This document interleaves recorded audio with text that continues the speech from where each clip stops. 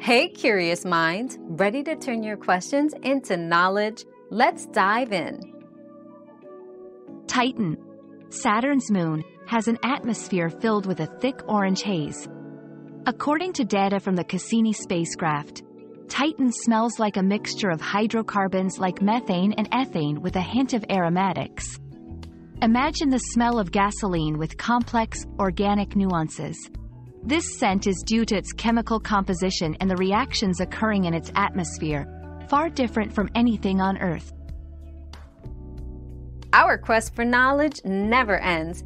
Thanks for being part of today's discovery. Subscribe, like, and share to join us on the next one.